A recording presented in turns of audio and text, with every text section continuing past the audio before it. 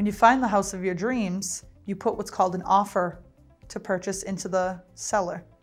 An offer to purchase is a legally binding contract that lays out the terms of the agreement. In all real estate transaction, every detail matters. Every word matters. It's so important when you're filling out an offer to purchase to present to a seller that all the details are included. The purchase price, the closing date, any mortgage contingency if you're taking out a loan from a bank. All of those items should be listed out in an offer to purchase to ensure as much detail as possible is presented to a seller. I would work with your real estate agent from the beginning when an offer to purchase is being prepared to ensure that all language that needs to be in the offer is there before it's presented to a seller. I've dealt with thousands of real estate agents and hundreds of loan officers to ensure that deals go as smoothly as possible.